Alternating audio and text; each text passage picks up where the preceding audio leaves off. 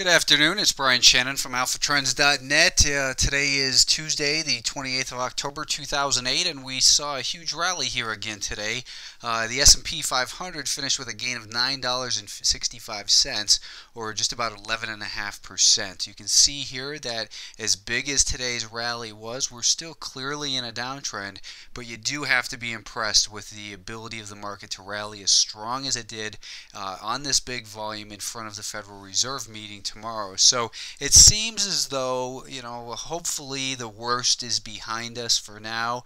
Um, each day, you know, you come in expecting one thing and get another thing. Yesterday, uh, I was expecting a, a, lot more downside based on this close here, but instead we saw a gap higher. The market then uh, sold off a little bit, and later in the day, it took out the uh, uh recent resistance levels that we've been looking at in here that also coincided with that declining five-day moving average, and uh, it was just up and up and away from there. I'd recorded a uh, video earlier that's only uh, shown on my blog, so the people who are looking at uh, YouTube, I had shown a video of how I traded from this point uh, on, and that was a uh, live recording. So uh, I was trading the the Qs.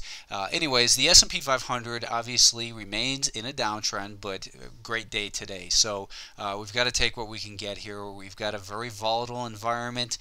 here we're looking at a 30-minute time frame. You can see that this downtrend line that's been intact since about mid-September is still intact. So perhaps this is where this market rallies up to next. We've also got the potential uh, larger level of potential resistance right up here around uh, 98.5, 99. So uh, if the market can continue to add to these uh, levels, then uh, th these these gains, then perhaps we're forming a more solid bottom that we can uh, build build from. But it's still going to take a long time to straighten out these weekly time frames. I don't want to harp on that because today the bulls had a good day, and let's take it for what it's worth, which was a great day, uh, especially if you were trading on the long side here uh, later on in the afternoon. So we did we did get back above this level that we gapped down to. that was last Wednesday. Uh, so this was uh, uh, last Tuesday's close, and we're just short of filling that gap in there. So that's something to be aware of as well. That this, uh, you know, this had been a little bit of support at about 95 and a half, and uh, still a real nice trade up to that level if it can continue there. But this rate of ascent shows desperation in the tur in, in, you know basically on the parts of the shorts who came in to cover, and you know Great day though for, for being long. I had sold, uh, as I said I would, all of my long position, at, you know, and right at the end of the day, which was a, uh, a good decision because they, they closed right on their highs, obviously. Uh, let's take a look at uh, gold. Gold was up a little bit today, uh, adding to its bounce, but it has made that lower low here uh, on the weekly time frame as well. So perhaps it can get a rally up towards that declining 50-day moving average, but I, I, it's tough for me to see anything that's going to turn it past that level. We've got diminishing volume on this rally. Uh, on the 30 minute time frame, you can see just a little bit of resistance just uh, above where we had uh, closed. So at about $74 a share.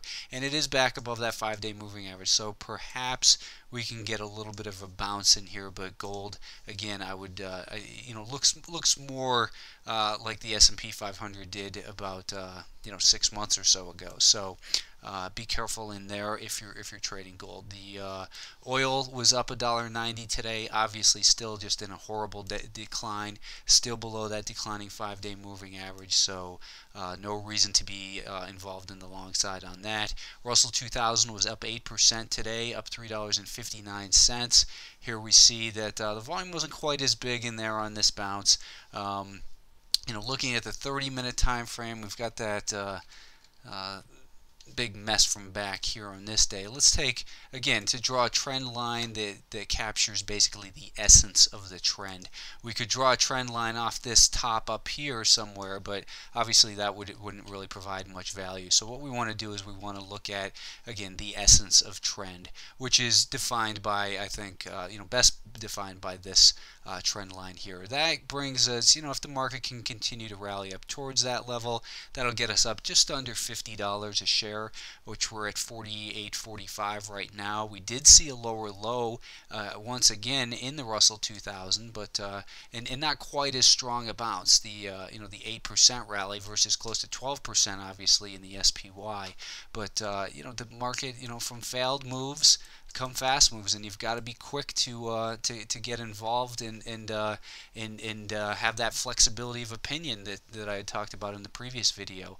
So um, here on the uh, on the five minute time frame, let's take a look at the 10 minute time frame. We did get above this level here, uh, which has been you know we broke this pattern of lower highs as well, but this is where we had that five day moving average at about 48. Hopefully over the next few days these markets can rally a little bit, pull back, find some support at that five-day moving average as the five-day moving average flattens out, and perhaps we can uh, maybe even build a, a multi-month uh, low. It doesn't mean it will be the low, but you know one of these types of lows that we get to trade from the long side for a couple months.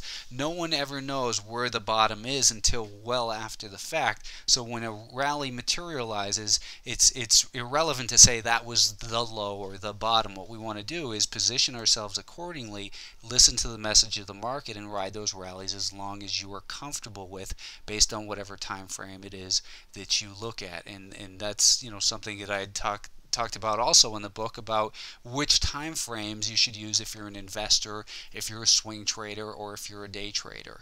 The um, uh, let's take a look at the financials. The financials were up huge as well, up 14% with their $1.86 uh, cent gain. So uh, looking at the 30 minute time frame here, I think that this trend line best defines uh, the the recent activity in this market. So you can see that we we did break above that, and also we broke uh, back above this level here that had led to the recent most recent decline. That level had acted as resistance back in here as well. So right about that $14.60 level, I think that's going to be important as far as support goes. If it pulls back back a little bit further intraday because it tests the five-day moving average. I think that's good. Uh, that is, it's still constructive action. In other words, that uh, we could see uh, maybe this level, $14.60, uh, not hold but as long as it holds above that five-day moving average, that five-day moving average starts to flatten out and then turn higher, then perhaps we can build a series of higher highs and higher lows. Uh, in that late late day video, I'd also talked about the semiconductors, and the, the, this group was a little bit stronger uh, today, earlier, uh, and, and that's what, what part of my reason was to, to get involved on the long side, because you'd seen that this group actually had been the worst. And I haven't mentioned the semiconductors in a while, but what I'd said when we last visited perhaps we're going to even go back and test those 2002 lows. And you can see we actually undercut the 2002 lows in the semiconductors. So this group came down at that point. No one had been making money since about 1997 if you were a buy and hold investor in the semiconductors. And then on the weekly time frame and daily time frame, we saw that uh, last Friday that that push to new lows, uh, the market did reverse, and then we're putting it on a uh, let's put it on the 30 minute time frame. Uh, this is uh, you know this is this is a tough uh, to, to chart in because of the um, uh, because of the because it occurred on the open and failed so quick. But you can see it is still relevant that we had broken past that level, and this is where we would expect you know the potential for resistance. There had been resistance there once in the past. Uh, above that, maybe $22. I don't want to get carried away with upside objectives because I'm not bullish about this market still, uh, generally speaking. We're in a downtrend, so you still have to be very careful. But obviously, when you see a rally like this, you have to stand up and take notice. The, uh, the but the semiconductors broke past their uh, resistance, recent recent resistance of the last three or four days. Uh, basically, they were the first group to do it here today. Um, at this point, breaking past that, it was about $19.10, and they continued to charge higher right up into the close.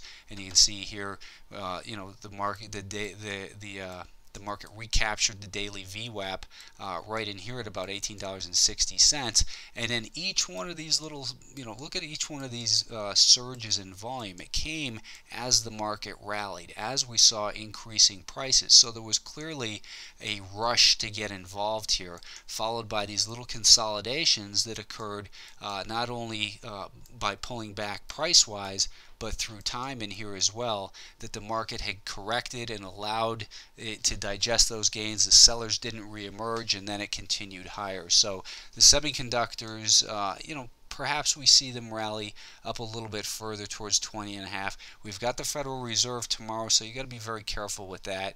Um, those those uh, you know Federal Reserve meetings are, are a period of, of amazing volatility, and uh, it'll be interesting to see how vol volatile it is compared to what we've been experiencing lately in previous um, uh, uh Fed meetings because obviously volatility is something that's increased uh, massively here over the last several uh, weeks. The Nasdaq 100, looking at a 30-minute time frame first, you see we're still within the confines of this downtrend line, and breaking a downtrend line doesn't assure a reversal, and being below it doesn't mean it can't reverse. But you have to be aware that these are potential levels where sellers may come back into the market or buyers may go on strike, basically. So this prior, uh, these little prior peaks here at about 34 or so so, uh, 3380 or so, um, and also that trend line at about 3320. What we saw in here today was that uh, you know the market gapped higher. It was stuck within this range here, $30 and about 25, 30 cents.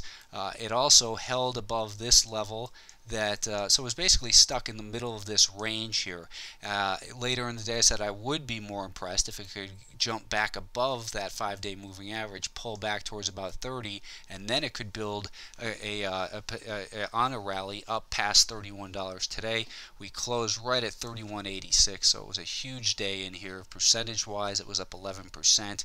Uh, we have expended a lot of energy in here. Doesn't mean it can't continue higher, but remember that you know these bear market rallies do tend to fail, and you'll have other opportunities to to get involved again down the road. Maybe not exactly at these prices, but volatility shall, should remain high, so it remains a, uh, a day trading environment basically.